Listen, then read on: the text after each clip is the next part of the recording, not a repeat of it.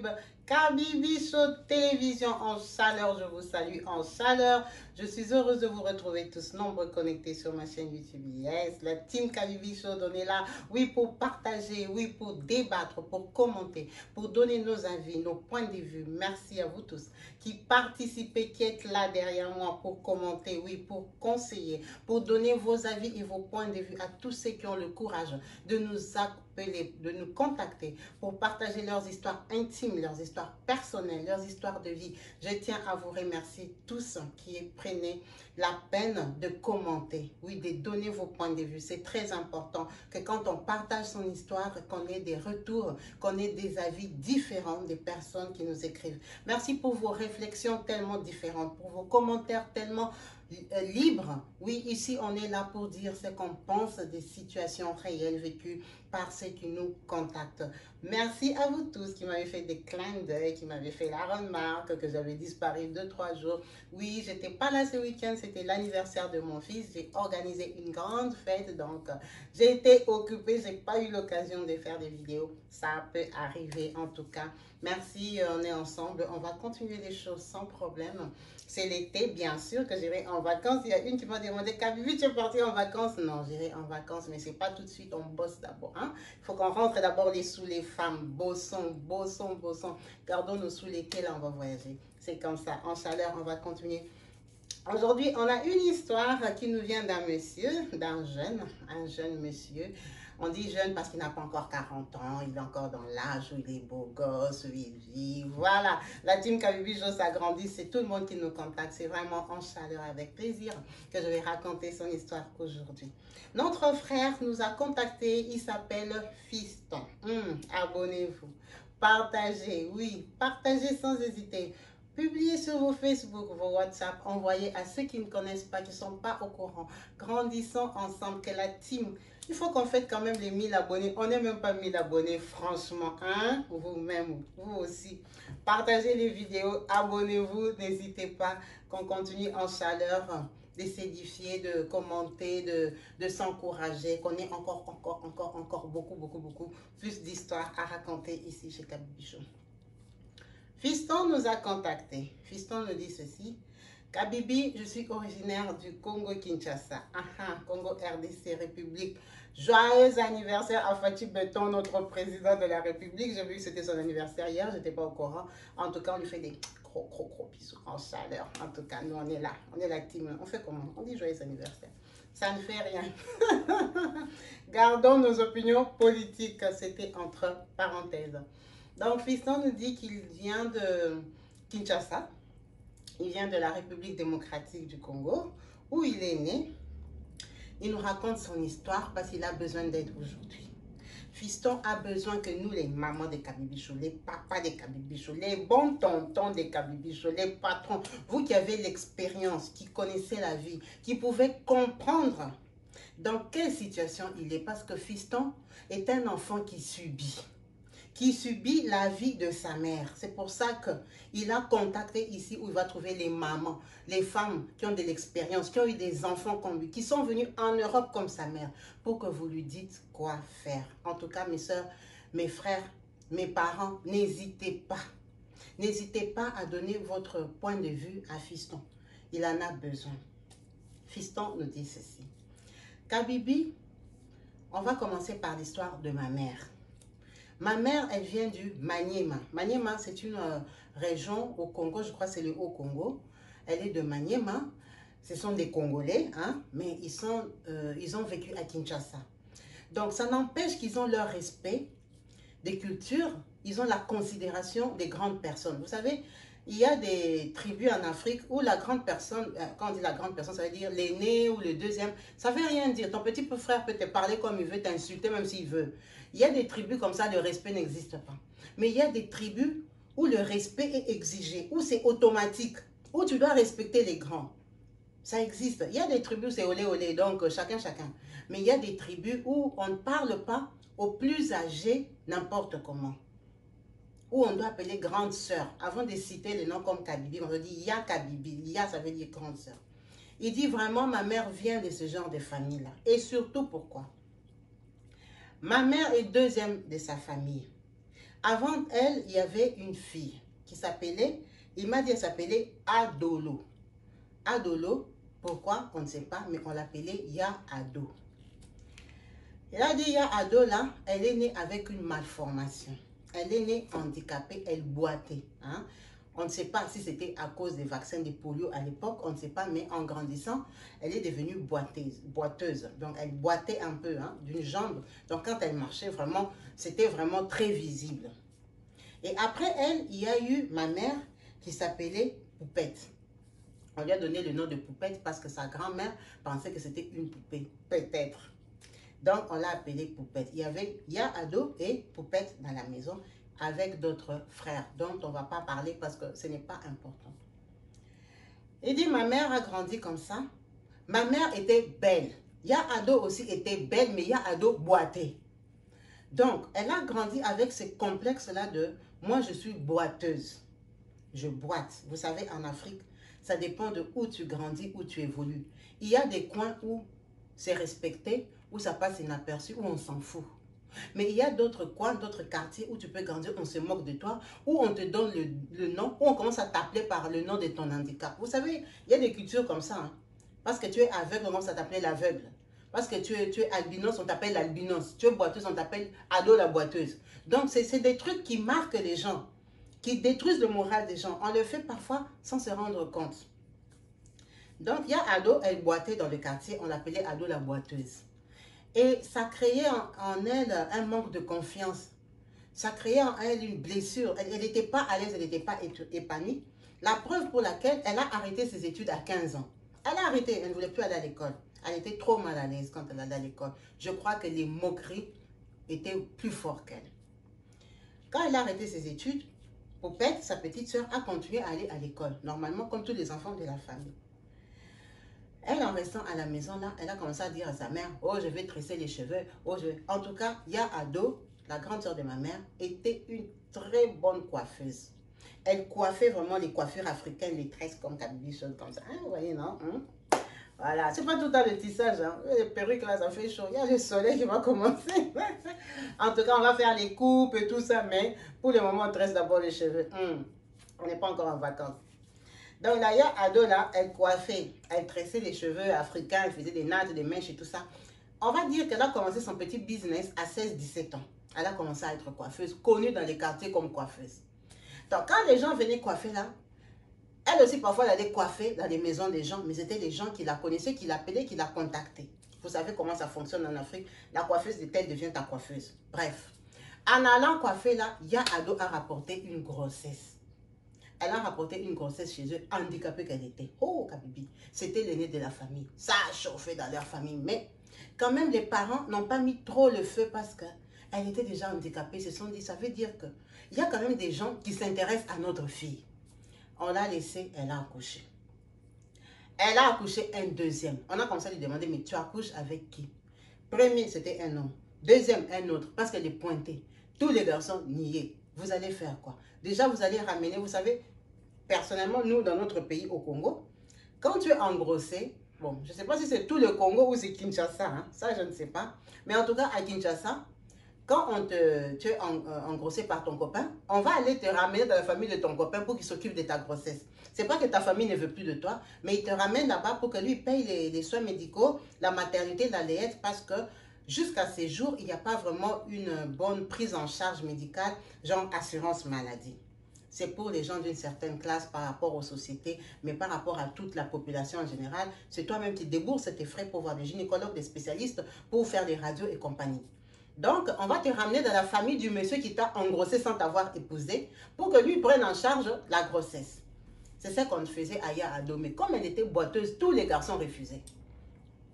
En tout cas, elle a accouché de ces, enfants-là. Elle était encore très jeune.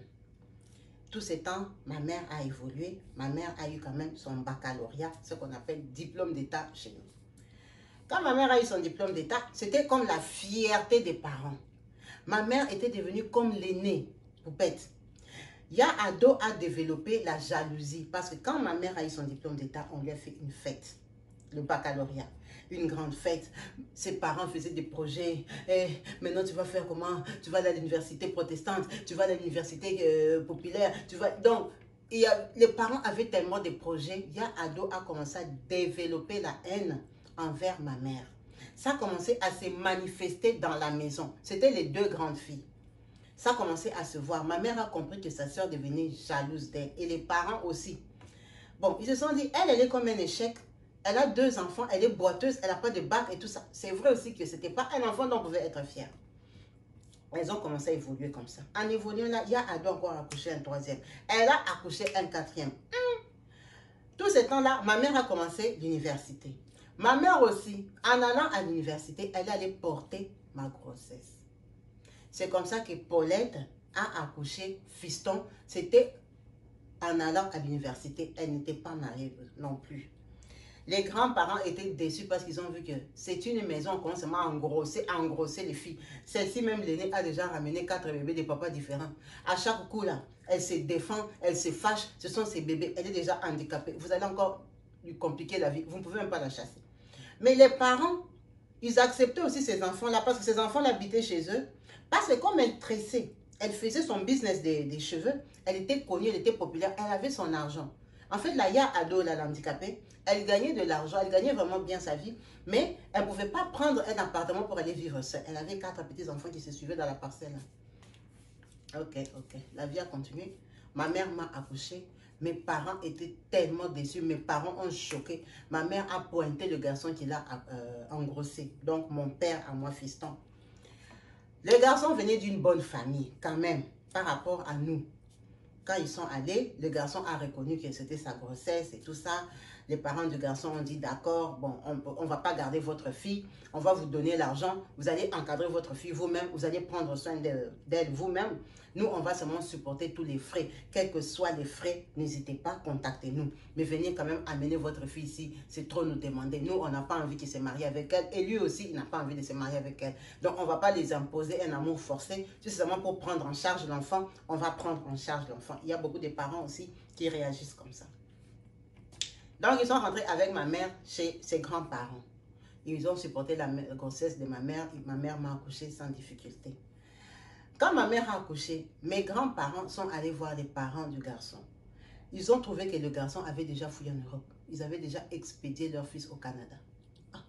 Mais votre fils est parti au Canada, il ne nous a pas dit au revoir, il n'a pas déclaré la grossesse, rien du tout. Donc nous, on est resté avec fiston comme ça. Donc fiston n'a pas dit papa. Maintenant, c'est vous qui allez venir déclarer la grossesse ou comment? Parce que mes grands-parents, comme ils avaient vu aussi que mon père venait d'une bonne famille. Il voulait que l'enfant soit reconnu pour qu'il porte le nom de cette famille-là. C'était une famille importante au Congo. Leur fils a fui en Europe. Ils l'ont envoyé en Europe. Tellement que mes parents commencé à chauffer, envoyer des isanies, des problèmes. Ils ont commencé à dire qu'ils allaient prendre fiston, aller remettre à la belle famille. Ces parents-là ont dit non. On comprend votre douleur. On comprend que vous êtes perdu. C'est qu'on va faire. Nous, on ne va pas prendre fiston. Parce que le papa de fiston, il vit en Europe. Le papa des fistons, il sait qu'il avait engrossé votre fille. Pour que vous nous laissiez tranquille, ce qu'on va faire, on va envoyer votre fille en Europe. Comme ça, ça c'est le le dernier marché. Votre fille, qu'elle a cherché sa vie en Europe, elle va s'occuper des fistons. De toute façon, c'est vous aussi qui l'avez mal éduquée. Pourquoi elle est venue sortir avec notre fille jusqu'à porter la grossesse? Nous, on n'a pas épousé. On n'est jamais venu frapper la porte chez vous qu'on voulait de votre fille. Elle a voulu s'accrocher s'agripper pour rentrer dans notre famille. Lui, fiston, il allait faire ses études. Il sait qu'il a un enfant. Les jours qu'il sera capable de payer pour son enfant, il va la chercher. Ce n'est pas à moi, le papa, de prendre en charge toutes les bêtises de fiston. Je n'ai pas que fiston euh, de, de, mon fils. Je n'ai pas que mon fils, le père de fiston dans cette maison. J'ai beaucoup d'autres enfants. Si chaque enfant doit aller engrosser, engrosser, que c'est moi qui dois venir prendre les charges, ça ne sera pas possible. C'est qu'en tout cas, la famille de mon père a décidé, c'est d'envoyer Poupette en Europe, qui est ma mère. Mes grands-parents étaient d'accord, ça allait faire quand même une personne de leur famille qui allait aller en Europe. C'est comme ça que ma mère Poupette est venue en France. Quand ma mère Poupette vient en France, elle me laisse moi au Congo. Parce qu'on a payé les billets pour une personne. Ma mère, elle a eu le visa et tout, elle part en France. Nous, on connaissait personne en France mon père avait une relation en manche longue. Quand on dit manche longue, donc l'ami de l'ami du cousin, de, l'oncle, du grand-père, des patatis. Vous connaissez ce genre de relations-là. Donc, cette personne-là habitait à Saint-Étienne, en France. Saint-Étienne, qui est une ville au sud-est de la France. Moi, j'ai jamais été, je ne connais pas. C'est comme ça que Poupette arrive en France, elle va à Saint-Étienne. Dans la famille où elle va, on lui dit qu'on ne peut pas la garder. Parce qu'ils sont vraiment une relation manche longue. Vraiment, ils ne se connaissent pas. C'est vraiment connaître de connaître. Ils l'ont quand même reçu, ils l'ont quand même accueilli. Ils lui ont dit, ici, tu dois chercher tes papiers, tu dois chercher ta maison, chercher ta vie. Tu n'es pas venu ici pour habiter ici chez nous. Nous, on a besoin de personnes. On ne cherche pas les gens à aider ou à, vivre avec. On va t'amener chez les assistantes sociales, tu vas faire tes démarches pour tes papiers. Après, tu seras indépendante, tu pars chercher ta vie. Donc, c'est comme ça que quand ils l'ont amené pour faire des démarches et tout ça, la dame chez qui ils habitaient, là où ma mère habitait, Poupette, c'était une femme des ménages. C'était une femme qui, faisait des ménages à domicile et tout. Elle avait une blanche qui elle travaillait, avec qui elle s'entendait très très bien. Cette dame-là avait même des, enfants. Hein. En fait, elle faisait et les ménages, elle prenait des enfants à l'école. Vraiment, c'était vraiment sa femme des ménages avec qui elle avait déjà fait au moins 6-7 ans. Quand maintenant Poupette est arrivée chez elle, naturellement, elle a parlé des poupettes à la dame chez qui elle travaillait. Elle a parlé des poupettes à Julie. Cette dame-là s'appelait Julie. C'est comme ça que, avec le temps, je lui demande, ah, mais comment va la fille qui habite chez toi? Elle dit, oui, elle est là. En tout cas, nous, on fait les démarches. Elle doit partir de chez nous. On ne peut pas rester. Elle raconte ce que je vous ai raconté. Elle dit, mais tu sais, comme elle est en attente de ses papiers et que toi, tu n'en veux pas, est-ce qu'elle ne peut pas aller aider mon père? Elle dit, ton père? Oui, moi, mon père, il habite seul, il fait des dépressions, tu vois, tout le temps, il faut que j'aille le voir et tout ça. Moi, ça m'embête avec les enfants, le travail et tout. Si on peut lui trouver une dame de compagnie, comme toi, tu ne veux pas qu'elle habite chez toi, elle peut aller habiter là-bas, comme ça, elle fait les ménages, elle s'occupe de mon père, elle cuisine, et puis mon père, ça lui fait de la compagnie. Si tu veux, on peut lui donner un petit truc, un petit quelque chose. On peut l'aider. Elle ne va pas faire ça gratuitement. Non seulement elle va habiter à l'aise, parce que là-bas, il n'y a personne. Et en plus, elle va quoi, ça, gagner un peu d'argent. La dame chez qui Poupette, qui est ma mère, habitait, ça l'a arrangé parce que c'était un bon débarras pour Poupette. Elle voulait se débarrasser des Poupettes. Elle a raconté à ma mère, ma mère a accepté. Elle n'avait même pas le choix parce qu'elle, on l'expédiait même carrément que va te débrouiller au foyer. Ma mère s'est retrouvée qu'elle est partie vivre dans la ville de Ricamari, hein? Ricamari m'a dit. Ricamari, c'est à côté de Saint-Étienne. Moi, je connais. Donc, ma mère, je crois que c'est un village. elle est partie vivre à côté de Saint-Étienne, dans une maison chez un vieux papy. Bon, il n'était pas trop papy à l'époque là. Je crois qu'il avait les 67 ans par là. Quand ma mère, à l'époque, est partie là-bas. Ma mère est partie pour travailler. Monsieur Hervé était le papa de Julie, chez qui la dame l'a travaillé. Ok, ok. On a expliqué à M. Hervé. M. Hervé était content. Il a eu de la compagnie. Julie partageait la baguette. Julie, Julie faisait tout. Euh, pardon, euh, Poupette faisait tout. Ma mère a commencé à vivre là-bas. Kabibi. Ma mère, c'est une Congolaise qui est venue chercher la vie. Toi, tu sais que quand tu mets les feuilles de manioc et la chèvre, ça va finir comment? La chèvre va manger les feuilles de manioc. N'est-ce pas, mes frères et sœurs? Donc, avec le temps, ma mère habitait avec M. Hervé. Ma mère a commencé à avoir des affinités, une vie intime avec euh, M. Hervé dans la maison là. Mais M. Hervé était beaucoup plus âgé que ma mère. Vraiment, ma mère, elle pouvait avoir le même âge que Julie, la fille de M. Hervé. Parce que quand ma mère est partie en Europe, je crois qu'elle avait au moins les 29 ans comme ça. M. Hervé, vraiment, il avait déjà plus de 65 ans. C'était vraiment un, monsieur qui était déjà à la retraite. Donc, ma mère a commencé à sortir avec lui. En sortant avec lui là-bas. Ma mère a commencé à vouloir que M. Hervé l'épouse. M. Hervé lui a dit, tu sais, ici on est en province. On est en plus au village. Tu es trop jeune. Ça ne sert même à rien que je t'amène à la mairie. Ils vont refuser. Vous savez qu'il y a des mariages qu'on refuse ici en Europe. Hein? Le monsieur, s'il est trop vieux, on ne va pas vous marier. M. Hervé lui a dit, je ne peux pas t'épouser. Vivons seulement comme on est là. Moi, je continue à te payer ton salaire. Personne ne sait, Julie n'est pas au courant. Faisons notre truc ensemble. Il n'y a pas un problème. Moi, tu restes là. Tu es déjà devenue ma copine. D'ailleurs, je t'aime beaucoup. Tu es même belle. Kabibi. Ma mère a vécu comme ça avec M. Hervé deux ans. Pour Julie, elle sait seulement que ma mère Poupette travaille. Alors que ma mère est déjà la copine de son papa. La dame là aussi, elles ont coupé un peu les relations, les contacts. Tu sais, souvent les gens, chez qui tu arrives, quand tu commences à t'en sortir dans la vie, la relation termine. C'est comme ça que nous sommes. Nous toutes là, nous sommes comme ça. Tous les chez qui nous sommes arrivés, on ne s'entend plus.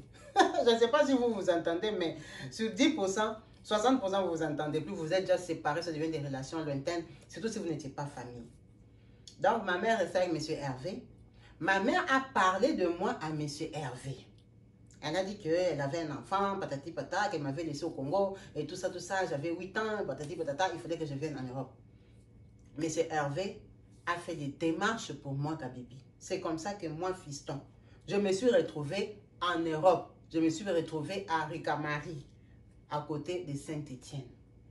Ma mère et M. Hervé, M. Hervé euh, a fait comme tutelle. Hein? Il, m'a pris comme tutelle. Comme, comme moi, je n'étais pas déclarée, je n'avais pas de papa. C'est M. Hervé qui m'a amené. Il est devenu mon responsable en Europe. Il a fait genre adoption ou reconnaissance ou un truc comme ça pour que moi, je reste en Europe à sa charge. C'est comme ça que je suis venue en Europe avec les papiers. Moi, je suis venue dans la voie légale. Quand je suis arrivée à Ricamari, là-bas, Kabibi, j'avais 8-9 ans. On m'a mis à l'école, je venais du Congo. Mes grands-parents n'étaient pas riches parce que déjà, il y a Adolo là-bas, elle tressait ses cheveux. Moi, mes, mes grands-parents, ils prenaient aussi des lâches. C'est maintenant, il y a Adolo même parfois qui sponsorisait un peu la maison avec l'argent. Nous tous, on l'appelait Ya Ado. parce que c'était la grande soeur de ma mère. Et comme on était nés là-bas, on l'appelait Ya Ado. Ya Ado, moi aussi, je l'appelais comme ça. Kabibi, quand je suis arrivée en Europe, on m'a mis à l'école, au collège. Je suis restée trois ans. Julie, là, elle a appris que moi, je suis venue. Elle n'a pas compris. Elle a dit, mais comment la femme de ménage a eu les papiers? Maintenant, elle fait venir son enfant. Son enfant commence à habiter chez mon père. Quand Julie a voulu interférer, son père lui a expliqué clair et net qu'il était avec ma mère Poupette. Ça a éclaté entre eux.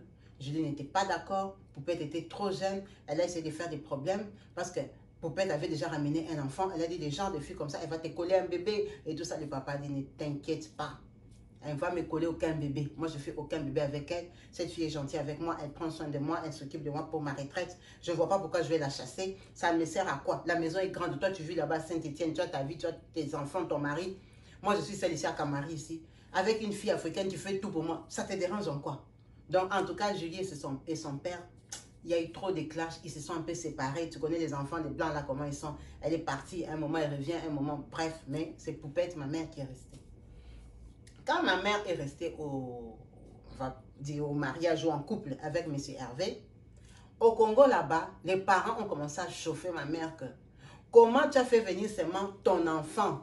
Tu as laissé les enfants de Yaado il y a Ado a des enfants aussi que tu peux aider et tout ça. Toi, tu es déjà avec un blanc qui peut t'aider, qui a fait venir fiston. Comment tu as déclaré que fiston, tu connais les pressions des familles? Kabibi, on a comme ça foutre la pression à poupette. Fais venir ta grande soeur, profite. Comme il est même vieux là-bas, il va mourir demain. Il n'a pas, il pas de, quoi ça, des problèmes. Pourquoi tu ne peux pas aider ta soeur Elle va rester seulement tresser les cheveux ici toute sa vie. Fais-la venir en Europe. Elle peut ouvrir un salon de coiffure. Demain, elle peut t'aider. Kabibi, on a foutu la pression comme ça, ma mère, même pendant 5 ans. Ma mère est restée avec M. Hervé, c'était son amoureux, vraiment, ils vivaient leur vie. Kabibi, ma mère avec, avec le temps, M. Hervé n'était pas compliqué, il n'était pas difficile. Julie a commencé à accepter ma mère. En tout cas, elle a dit à M. Hervé qu'elle voulait aider sa grande soeur, que sa grande soeur était handicapée et tout ça. Et M. Hervé, il prenait de l'âge. Il s'en foutait, mais à un niveau, Kabibi. Il avait l'argent, il avait des maisons et tout ça.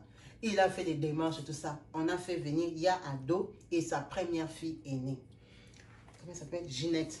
Il y a Ado et Ginette sont venus en Europe. Quand ils sont venus, elles sont allées où? Directement à Camari, chez nous. Mais le problème qui s'est passé, c'est quoi, Kabibi?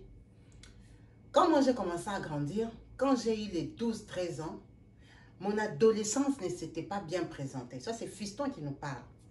Il dit, dans mon adolescence, je suis devenu un peu turbulent, un peu têtu. Ma mère m'énervait et tout ça. Donc, je ne sais pas ce qui s'est passé en moi. En tout cas, je n'écoutais pas. Je faisais des bêtises à l'école. J'ai tapé les enfants des blancs. Je faisais, j'ai cassé les vitres de l'école. Je faisais n'importe quoi. En tout cas, je n'étais pas calme. Je n'étais pas serein. Kabibi, ça commençait tellement à compliquer ma mère des convocations, des convocations. Eh, eh, ma mère a dit, le monsieur Hervé ici ne m'a pas épousé. L'école foutait trop la pression. Tu connais comment les instances sociales des provinces sont?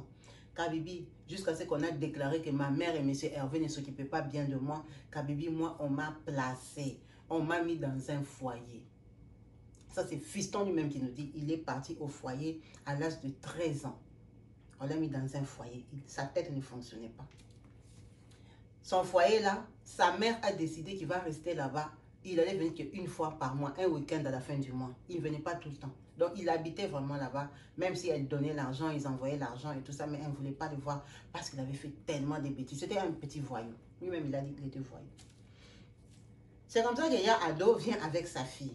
Quand Yado vient avec sa fille, lui, Fiston, il est déjà au foyer. Ah, Yado a raconté à tout le Congo que Fiston, on l'a déjà arrêté. Fiston, il est déjà comme dans les maisons, centres fermés. Tu vois, quand quelqu'un vient d'Afrique, il comprend tout à l'envers. Elle a sali ma réputation, comment ma mère était irresponsable, comment moi j'étais devenu voyou, comment on m'avait arrêté, comment, comment, comment, comment, comment, comment, Kabibi. Tout ça, ma mère a supporté. Ça fait que ma mère et Yado ne s'entendaient pas. Dès que Ado est arrivé, ça a commencé des tensions avec ma mère. Ma mère a commencé à lui dire, il faut que tu partes de chez moi. J'étais déjà maintenant en Europe, maintenant débrouille-toi.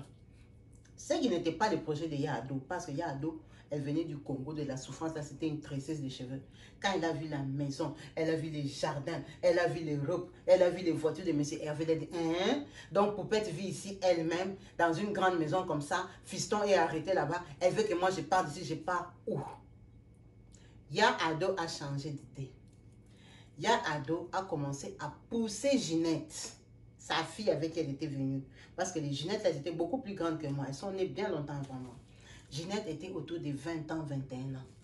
Ya Ado a dit à Ginette qu'il faut qu'elle prenne le mari de ma mère. Comme ma mère est là, elle est vieille là, elle ne conçoit pas. Il faut que Ginette fasse l'enfant avec euh, les vieux papis là. Kabibi, Ya Ado a commencé à, piéger les papiers là, lui mettre des trucs dans la nourriture, parce qu'eux tous habitaient là-bas, lui mettre des trucs dans les cafés, dans les boissons et tout ça, pour qu'il sorte avec Ginette. Kabibi, comme on dit, le diable est rusé. Ils ont fait leur plan là au moins pendant huit mois. Ça marchait. Ginette sortait avec le papy et il était aussi avec ma mère. Mais ce qui s'est passé, c'était quoi? Et que à cette période-là, ma mère ne se sentait pas bien. Elle était un peu déconcentrée sur le papy. Pourquoi? Parce qu'on venait de découvrir que ma mère avait ce qu'on appelle la sclérose en plaques. Sclérose en plaques, c'est une maladie, je crois, qui rend les gens handicapés. C'est une maladie euh, neurologique, si je ne me trompe pas. Qui, ça te rend handicapé, ça, ça te tue les nerfs ça te tue les nerfs progressivement, ça te baisse la vue, ça te... en fait, ça te tue les organes du corps. Donc, ma mère, comme on venait de lui annoncer ça, elle était troublée, perturbée. Parce que moi, j'étais placée, c'est comme si elle voyait sa faim. Elle... Ça, c'est pas une bonne maladie. Donc, elle s'est un peu déconcentrée. Et c'est là que Ado a profité avec Ginette pour commencer à sortir avec M. Hervé. Monsieur Hervé, c'était un blanc pervers, Kabibi. Parce que ma mère, déjà, elle était très jeune par rapport à M. Hervé. Et Ginette, même, c'était la petite fille de M. Hervé. Pour lui, c'était comme un jeu. C'était des Africains qui habitaient chez lui. Il était comme la star dans le village. Il y avait plein de filles qui habitaient chez lui. Donc, il ramenait ses vieux amis, ses vieux papis là. Il rigolait. Donc, il n'avait aucun respect. C'est pour ça que Kabibi, je m'étais aussi révoltée. Parce que moi, je suis allée à l'école déjà à 8-9 ans. Je parlais bien français. Je comprenais l'état d'esprit. Et je comprenais que M. Hervé n'avait aucun respect ni pour ma mère, ni pour ma tante, ni pour, pour ma nièce. En fait, il nous prenait comme des choses. Mais seulement Peut-être c'était la souffrance ou la faim qui faisait que ma mère habitait là-bas. Ça fait, tout ça, ça faisait partie de ma révolte. Donc, Ya Ado a commencé à pousser Ginette. Comme Ginette venait du Congo, elle a grandi au Congo, elle a l'esprit pervers des, petites Congolaises affamées là. C'est pas toutes les Congolaises, hein. Les petites Congolaises affamées qui, peuvent même aller faire porte-à-porte là. Genre, pour l'argent, elles sont prêtes à tout. Même aller sortir avec un vieux papier comme ça. Elles ont piégé M. Hervé avec sa mère. Je ne sais pas si sa mère lui donnait quelle herbe. Si c'est comment, en Kabibi. Là, ma maman à moi, Poupette, est en train de tomber malade. Et ils sont en train de sortir M. Hervé. Quand ma mère se fâche, mais ma mère voyait que la santé ne donnait pas. Elle n'avait plus la force d'affronter sa soeur, sa soeur boiteuse là. Elle disait au Congo, mais au Congo, on va dire, ah, vos histoires là d'Europe, vous êtes en train de vous battre, là vous vous précipitez, un vieux blanc. Qu'est-ce qui prouve que Ginette aime... Donc, mes grands-parents ne voulaient rien entendre. Comme il y a Ado envoyé l'argent, ma mère envoyait l'argent. Et pour eux, ça les faisait une stabilité financière. C'était comme les retraites. Démerdez-vous avec vos problèmes là-bas. Nous, c'est comme ça que nous, on doit manger. Kabibi, Ginette est tombée enceinte de M. Hervé, un papy. Quand Ginette est tombée enceinte, ma mère, la maladie a commencé à se développer. Ça a commencé à me déranger. Ma mère est allée voir les gens du foyer pour dire qu'elle voulait me voir un peu plus fréquemment. Mais on a dit non, ici on a des lois. Il sera libre à 18 ans. Donc, j'avais encore au moins deux ans avant que, que je sorte, je sois libérée du foyer. Ma mère ne pouvait pas changer ça comme ça. C'est pas elle qui avait décidé qu'on me mette là-bas. Donc, j'ai continué toujours à aller voir ma mère une fois par mois. Ginette est tombée enceinte. Quand Ginette est tombée enceinte, Kabibi, ils ont commencé à faire souffrir ma mère dans la maison. Ma mère n'avait même pas les morales. Elle passait son temps à dormir, elle restait dans la chambre et il régnait là-bas. On ne sait pas si c'est une maladie naturelle, si c'est une maladie des sorts. Mais ce qui est sûr que quand Ado est venu, ma mère a développé cette maladie-là. Kabibi, Ginette est tombée enceinte de M. Hervé et tout ça. Ma mère, tellement qu'elle était désemparée, elle a dû à Julie. Julie, la fille de M. Hervé. Ah Julie était dans tous ses états. Elle est venue voir son père. Ils se sont pris la tête et tout ça. Son père. En tout cas, Julie et son, père ont pris des distances. Donc, il y a Ado gérer M. Hervé. Il y a Ado est devenue comme la maman de la maison. Il y a Ado handicapé là, intéressé plus les cheveux. C'est elle qui a pris carrément la place de ma mère, ma mère malade. Kabibi, comme Dieu sait faire les choses. Ginette est partie accoucher. Ginette, la fille de Yado. Elle est partie accoucher son bébé, le bébé de M. Hervé, Kabibi. Ma mère dans la souffrance. Quand Ginette est partie accoucher, Ginette a perdu la vie et le bébé aussi. Et Ginette et les bébés sont morts à l'accouchement. Ginette a très mal accouché pendant que c'était à Saint-Étienne. Elle est partie accoucher dans la grande ville à Saint-Étienne parce que Ricamarie et Saint-Étienne, c'est pas loin. C'est un petit village à côté. Ginette est morte. Quand Ginette est morte, c'est comme si la vie de Ya Ado s'est écroulée. Tout son plan machiavélique s'est écroulé. Dans son plan, elle n'avait pas prévu ça. Dans son plan, Ginette devait accoucher, être, avoir l'enfant maintenant de M. Hervé, qui allait maintenant venir hériter de la maison de M. Hervé, qui allait avoir le même titre que Julie. Donc, Ya Ado avait déjà ses plans. Mais elle ne pouvait pas penser que Ginette pouvait mourir. Ya Ado a pleuré. Ya Ado a déprimé. Ya Ado, sa vie n'avait plus de sens. Ya Ado avait l'amertume. Elle était... On ne peut pas expliquer ses sentiments. Et là, ma mère est déjà malade. Ma mère est déjà dans les fauteuils roulants. Ma mère, déjà, les nerfs ne répondent plus. Monsieur Hervé, il s'était même déjà déconnecté de ma mère. Donc, il la voyait seulement comme une femme qui habite là-bas. En plus, ils ne les avait pas épousées. Ni I, ni O, ni A. Et toutes, elles n'étaient pas leurs femmes. Mais c'était des gens qui faisaient son ménage, qui faisaient ses soins, l'accompagnaient à l'hôpital, ils les divertissaient, ils passaient le temps avec. En plus, ils sortaient avec elle. Kabibi, tout ça, moi, là où j'étais là-bas, ça me révoltait. Ça m'énervait. Mais par contre, chose grave, quand je n'étais décédée, une fois je suis rentrée à la maison, M. Hervé m'a appelé. Il a voulu parler avec moi. Il m'a dit, fiston, tu vois, la vie, elle est comme elle est. Moi, ce qui m'arrive, je ne comprends pas. La mort de cette petite-là, ça me fait très mal, ça me blesse. C'est pas comme si je voulais vraiment faire un enfant avec elle. Mais je me suis retrouvée que je l'avais mise enceinte. Je n'ai pas compris comment. Ce n'était pas le but des, des blessés Poupette. Poupette, c'est une fille bien avec qui j'étais tous ces temps. Elle m'a aidé, mais c'est elle qui a cherché tout ça. Elle a voulu faire venir sa famille. C'est elle qui a insisté de faire venir sa grande soeur et sa fille. Mais au final, ça nous a brisé. Regarde, aujourd'hui, Poupette est malade. Mais là, je vois que sa soeur, en fait, elle la traite pas bien. Monsieur Hervé a parlé, Kabibi. Monsieur Hervé a parlé. Kabibi, à la fin, qu'est-ce que Monsieur Hervé m'a dit? Il m'a dit, tu sais que ta mère, elle n'arrive plus à communiquer correctement. Je dis, oui, je sais. Ta mère commence à avoir des problèmes de vue, je sais. Je lui dis, mais ta mère, quand elle essaye d'expliquer aux assistantes sociales, ça tire en longueur. Moi, je ne suis pas toujours là et moi, je suis vieux. Moi, je ne peux pas interférer dans leurs histoires, dans leurs problèmes des familles. Tu sais qu'elles parlent leur langue. Parfois, je ne comprends pas ce que Ado dit à ta mère. Mais ce que j'ai remarqué est que il y a Ado là, elle déboulonne, elle dévisse le fauteuil roulant de ta mère. C'est pour ça que ta mère fait des chutes tout le temps. Ta mère tombe tout le temps. Parfois, elle dit, oh, je vais sortir avec elle, je vais aller lui faire faire un tour. Quand ils vont sortir là-bas, ta mère va rentrer blessée, tomber, parce qu'elle déboulonne les, les fauteuils roulants. Mais moi, je suis vieux. Je ne veux pas entrer dans des problèmes comme ça. Je ne veux pas des problèmes avec Ado parce que, en fait, M. Hervé, il avait peur d'y Ado. Je ne veux pas entrer dans des problèmes comme ça. C'est ta mère à toi. Mais je préfère quand même te prévenir. Parce que même s'il m'arrive quelque chose à moi aujourd'hui, il faut que tu saches dans quelle main vit ta mère. Sa grande soeur n'est pas une bonne personne. Mais moi, j'ai besoin d'elle parce qu'à ce jour, c'est elle qui fait les ménages, qui fait tout. Elle a perdu sa fille, elle n'est pas bien moralement. Je ne peux pas la chasser tout de suite. Ma fille Julie et moi, on ne s'entend plus. Si je les chasse, moi, je vais rester avec qui? Toi, tu es là, tu es au foyer. Donc, moi, j'ai besoin un ado soit là parce qu'elle continue quand même à faire mon entretien, l'entretien de ma maison. Ta mère, elle est malade, elle est prise en charge par la sécurité sociale et tout ça. Ça ne me gêne pas. Ma maison est grande. Ta mère, je la connais très bien. Je la connais depuis des années. Elle peut rester là. Mais il faut quand même savoir la situation qu'il y a dans cette maison. Ta tante, elle n'est pas correcte, Kabibi. Ça, tout ça, c'est M. Hervé qui me dit. M. Hervé m'a raconté, m'a raconté, Kabibi. Ça m'a énervé. Ça m'a révolté. Parce que Ado, je la connais depuis l'Afrique.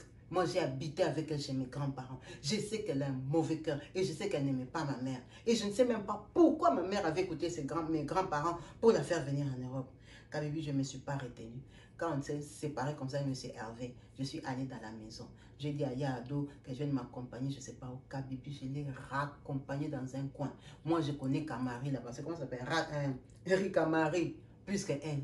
Je l'ai fracassé à un niveau. J'ai tapé ma tante. De toute façon, moi, j'étais déjà un enfant placé. Je l'ai frappé comme elle boitait là. Je l'ai tapé correctement. Elle a crié, crié, crié, crié. Kabibi, j'ai fui. Mais toi, tu connais le village. Il y a des gens qui m'ont vu. Ils ont appelé encore la police pour moi. Quand on a appelé la police pour moi, Kabibi, on m'a coupé 100 mètres. Parce qu'il y a Ado, son adresse, c'était là-bas. Depuis qu'elle est venue en Europe, elle habite chez M. Hervé. Donc la police a dit que je ne devais plus m'approcher d'elle, que les raisons que j'avançais, ça ne me donnait pas le droit de la frapper. J'ai dit que non, je l'ai frappée parce qu'elle maltraite ma mère. Elle a dit, je n'ai pas de preuves. Ma mère ne sait pas plaindre qu'on la maltraite. Et même si on la maltraite, c'est pas comme ça qu'on traite les dossiers.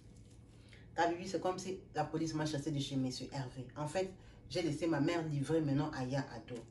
Pendant que M. Hervé m'avait déjà tout dit. Kabibi le fait que je sois partie là m'a chassé, ma mère est encore tombée malade, mais grave. Ma mère a été hospitalisée, je crois, trois ou quatre mois après cet incident-là d'avoir tapé à. C'était son dernier départ à l'hôpital général. Ma mère n'est jamais rentrée là-bas. Ma mère est morte. Ma mère a perdu la vie. Quand ma mère a perdu la vie, en tout cas, M. Hervé a eu trop de peine. M. Hervé a demandé à Yado de partir de chez lui parce qu'il était conscient et il savait que Yado maltraitait ma, ma mère. Il a dit, il ne veut plus la garder. Sa femme de ménage, c'était ma mère. Elle n'est plus, il n'a pas besoin de ses services. Il va prendre les auxiliaires de vie, les blanches, qui viendront maintenant s'occuper de lui parce que son soin commence à demander un peu des soins infirmiers. Donc, il n'a pas seulement besoin de quelqu'un qui va habiter, préparer, cuisiner pour lui, laver ses habits. Il a besoin des soins infirmiers pour lui faire des pansements, des choses comme ça. Donc, il va aller s'enregistrer dans une association où on envoie les gens à domicile à la maison. Kabibi, il y a Ado depuis qu'elle est venue en Europe, elle habitait là-bas. Monsieur Hervé l'avait fait les démarches, mais il n'avait pas déclaré Ado et sa fille, c'était des adultes quand ils sont venus en Europe. Donc Ado était indépendante. C'est comme ça que Ado, la grande soeur de ma mère décédée, est rentrée vivre à Saint-Étienne. La vie a continué Kabibi. J'ai eu mes 18 ans, on a enterré ma mère, j'ai eu mes 18 ans. J'ai commencé ma vie, j'ai continué à aller chez M. Hervé parce que Ado n'habitait plus là-bas. M. Hervé a pris de l'âge, Kabibi, il est allé en maison de retraite. M. Hervé est resté en maison de retraite au moins 6 ans. Après M. Hervé, il a fait un arrêt cardiaque, il est décédé en maison de retraite. Notre fils, notre frère, notre, notre junior fiston nous a appelés aujourd'hui parce que M. Hervé est décédé. Quand M. Hervé est décédé, il avait des biens, il avait des maisons, il avait des terrains, il avait des assurances vie et tout ça. Ça veut dire que Julie, la fille de M. Hervé, et Fiston ont hérité de ça. Fiston, malgré qu'il avait cherché sa vie ailleurs, il faisait son, son travail, il est entré dans la vie active, il a grandi, il a, il a commencé sa vie aussi. Il a hérité de M. Hervé. Ya Ado est toujours à Saint-Étienne. Elle a continué sa vie. Elle est toujours tresseuse. Elle a eu ses papiers. Elle a sa maison. Elle vit là-bas. Elle n'a jamais fait venir ses autres trois enfants-là. Ils sont toujours au Congo. Ils ont déjà grandi. Ils sont même mariés. Ils sont plus grands que Fiston. Ya Ado, c'est une maman. qui est à Saint-Étienne. Maintenant, le problème, c'est quoi? Les enfants de Ya Ado qui sont grands là. Ya Ado dit que comme elle, elle a perdu sa fille, Ginette, parce qu'elle avait accouché pour M. Hervé, lui, fiston, il ne peut pas prendre tout l'héritage seul. Ce qu'ils ont partagé avec Julie là, dans ce que fiston a eu, il doit aussi donner aux enfants de Ado. Parce que Ginette, elle n'a rien eu. Ginette est morte cadeau. Ginette était partie accoucher pour M. Hervé. Elle est morte cadeau. M. Hervé l'a chassée, elle. C'est comme si elle n'a bénéficié de rien. Comment moi j'ai hérité et je prends tout? Comment je peux tout prendre, Kabibi C'est comme la sorcellerie. C'est comme la sorcellerie. Mes grands-parents au Congo, ils sont déjà décédés. Donc, les Ya Adola, avec leurs tantes, les gens de leur famille, moi, je les ai connus. J'ai quitté le Congo à 8 ans. Il y a des gens que je connais maintenant qui ont des noms, mais des visages, je ne me rappelle plus. Donc, maintenant, les responsables de la famille, là, qui sont les oncles, les tantes, et tout ça de ma mère, c'est eux maintenant qui sont en train de décider que moi, fiston, je dois prendre dans mon héritage que j'ai eu là. Je dois donner aussi aux enfants des Ya Ado. Si je ne veux pas donner l'argent comme ça, je n'ai qu'à me débrouiller pour les faire venir en Europe. Kabibi, moi j'ai grandi en Europe. Est-ce que moi je connais les combines là pour amener les gens en Europe? Et même si je vais les amener, je vais les amener où? Pour qu'ils viennent faire quoi ici? Elle, elle est venue là, elle a détruit la vie de ma mère. C'est vrai qu'elle a perdu sa fille, mais elle a perdu sa fille parce qu'elle avait de mauvaises intentions. En Europe, là-bas, ici à, à comment s'appelle, Ricamari, il y a beaucoup de blancs. Elle pouvait donner à sa fille un jeune blanc, elle pouvait pourquoi elle, tenait seulement à prendre tout ce qui était de ma mère? Si sa fille est morte, c'est pas ma mère qui l'a tuée. Sa fille est morte par accident. Elle est partie accoucher un enfant non désiré, ni par le mari, ni par la famille du mari, parce qu'elle voulait absolument prendre l'argent de M. Hervé. Sa fille est morte avec son bébé. Qu'est-ce que ça a à voir avec moi pour que je prenne mon héritage, commencer à donner à sa famille, à elle? Elle, là même déjà, elle est venue en Europe. Ma mère qui l'a fait venir, elle a payé quoi, ma mère? Est-ce qu'elle a déjà remboursé ma mère? Jamais. Moi et elle, on ne se parle pas. Parce que déjà, moi, on m'avait donné 100 mètres de la maison de M. Hervé, qui est mon tuteur, qui est mon père ici en Europe. À cause d'elle. Elle, elle tapait ma mère, elle, elle, elle, brutalisait ma mère, elle la faisait souffrir, elle déboulonnait son fauteuil roulant jusqu'à ce que M. Hervé, un vieux papy, est venu me dire ça.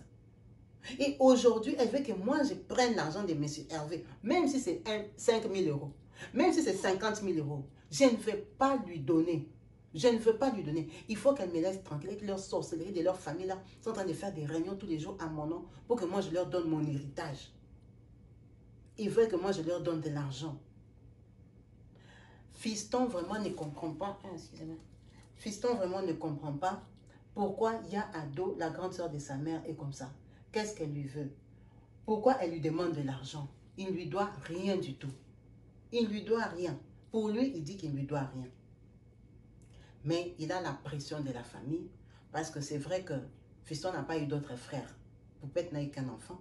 Fiston ne connaît pas son papa biologique.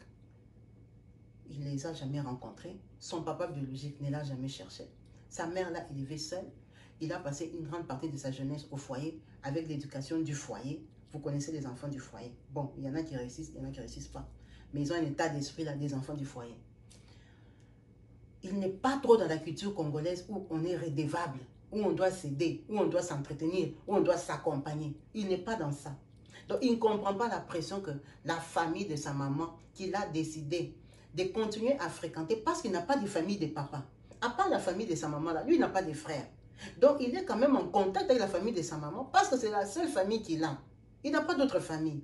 Mais cette famille-là, aujourd'hui, commence à lui foutre la pression pour l'argent d'un blanc qu'ils n'ont même jamais vu pour l'argent de quelqu'un pour qui sa mère est morte. Cette Ya Ado-là est devenue comme le malheur de leur vie. Depuis qu'elle est venue, la vie de ma mère a basculé. Elle a eu la sclérose en place, là, en, en place jusqu'à ce qu'elle est morte. C'est l'histoire de Fiston. Fiston nous a appelés parce qu'il ne comprend pas le comportement des Congolais. Il ne comprend pas pourquoi on lui demande de l'argent. Il ne comprend pas pourquoi il doit être redevable à Yado. Yado n'est pas venue pour profiter de M. Hervé. Déjà, elle a profité de venir en Europe. Si elle-même, elle a choisi un enfant qui est venu mourir, ça, c'est son problème. L'argent de Fiston, Fiston pense qu'il ne doit rien à Yado. En tout cas, il ne sait pas s'il se trompe, mais il a besoin de vos conseils. Vous qui connaissez bien l'Afrique, qui connaissez bien le maniement, Moi, je ne connais pas le Maniema personnellement. Vous qui connaissez la tribu, les tribus qui sont là-bas, leur comportement est comment? Est-ce que c'est grave s'ils ne donnent rien? Est-ce qu'ils risquent quoi s'ils ne donnent rien? Qu'est-ce qui peut lui arriver? Il a un peu peur parce que Fiston a grandi en Europe. Il les connaît, oui, mais il a grandi en Europe. C'est pour ça qu'il nous a contactés, parce qu'il a besoin des conseils des papas, des mamans, des Congolaises, des Africaines en général, qui connaissent la culture africaine. Donnez-lui un conseil, encouragez-le, supportez-le, hein. dites-lui vos avis et ce que vous pensez de cette histoire. En tout cas, on a débordé en temps. On va passer aux salutations et couper la vidéo. Hein. Donc, euh, c'était avec plaisir que j'ai partagé cette histoire en attendant vos commentaires multiples chez Kabibi Show. Je tiens à remercier Titi Mukendi. Bienvenue à la team Kabibi Show. Rosita, Rosita, bienvenue chez Kabibi Show. Jennifer Yumba, bienvenue à la team Kabibi Show. Nyanzalema, que j'embrasse fort. Karine Beka. Henriette Moulouba la belle congolaise. Rachel Mbi, hein, Mbouyi, je t'embrasse fort, merci pour tes commentaires. Sarah Obala, euh, Beryl Bois Noir, que je salue. Patience Bileki, je t'embrasse fort. Papa de Saint-Tiche et Godwin à Londres, je t'embrasse fort. Paulette Olson en Suède, je te fais des gros bisous. Denis Kaviona qui mon vieux perso, je t'embrasse fort. Merci pour tous les commentaires, les vidéos, je les ai vus. Béa Kouanza à Johannesburg. Chantal Selipa, oui, Mimingoya, à qui je fais des gros bisous à Johannesburg. Sylvana Boeing, Willy Kanindana Nakadima, à qui je fais des gros bisous. Oh, la spéciale. Béatrice Matunga au Canada. Gisèle Toumba, et Sophie de Toumba à Johannesburg. Hum, on ne peut pas couper sans dire à Chrisma Pascalini, qu'on l'aime bien, on lui fait des gros bisous. Josiane Camariza, gros bisous, my sister, Fondation Durable, les grands prêtres mères, je vous embrasse fort. Queen Meg TV, hum, toi tu peux pas manquer. La gauche co, Henriette Moulouba. En tout cas, j'ai fait au mieux, ça suffit pour aujourd'hui. N'oubliez pas le direct de demain, mercredi à 20h30. On sera en direct, on va parler, on va échanger. Oui, on va ramener sur la toile les histoires vécues, les histoires chaudes pour attendre vos commentaires, vos avis et vos points de vue. N'oubliez pas de liker, de partager, de vous abonner chez Kabibi Chaude et chez Kabibi Loba TV qui est ma deuxième chaîne en Lingala où j'essaie de partager des histoires pour nous encourager toujours et encore. Je vous embrasse très fort et je vous dis à très vite chez Kabibi Chaude. Merci de m'avoir suivi. Restez branchés, connectés. Bye.